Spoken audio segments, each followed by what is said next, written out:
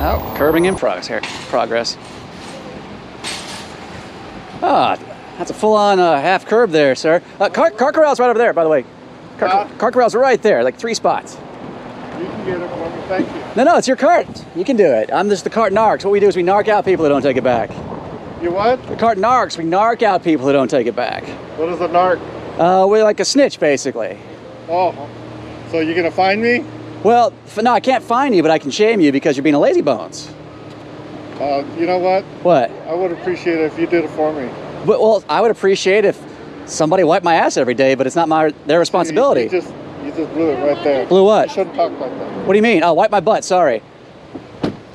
Well, here, I've got a Cart Narc bumper sticker magnet for you. It's got our Lazy Bones hotline number on it. You can call that for support, and uh, we can counsel you on how to like pick up after yourself. And man, I was explaining it's a Cart Narc's bumper magnet. Take that off, you stupid pig. No, ma'am, I'm not a pig. I'm a nice guy. Uh, it's You're a, not. You're talking vulgar.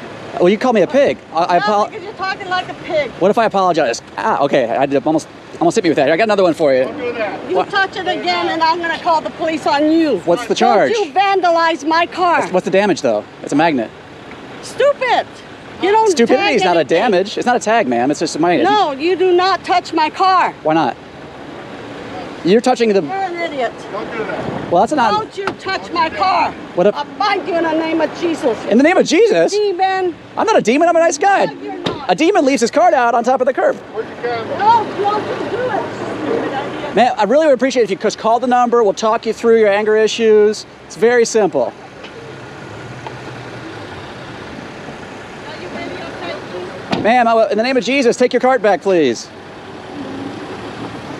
Jesus wouldn't leave his card out like that. Well, how's it going? Very sad, unfortunately, uh. This is a great job. It's a great cause, ma'am. Yeah, it is. Leaving your card out is not a great job for anybody. It's an anti-job. Here, well, anyway, I'm picking up my cart narc magnet. Cart narc's out. Cart narcs, cart narcs, what you gonna do? What you gonna do when they narc on you?